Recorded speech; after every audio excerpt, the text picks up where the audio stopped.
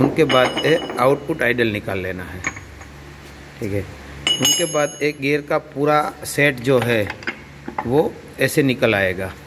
ऐसे, उसको ध्यान रखना है और धीरे से सीधा सा रखना है, क्योंकि अंदर की ओर उसमें एक गियर चलाने के लिए ऐसा बोल दिया हुआ रहता है। अगर ये बॉल निकल जाता है कैट को निकालो। अगर ये बॉल निकल जाता है तो ध्यान रहे ऐसे ऐसे उनको बिठा देना है।